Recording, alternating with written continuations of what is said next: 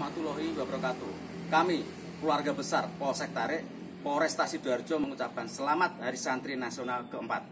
Dedikasi santri untuk Indonesia mandiri. Semoga dapat memperkuat jiwa religius keislaman sekaligus jiwa nasionalisme kebangsaan.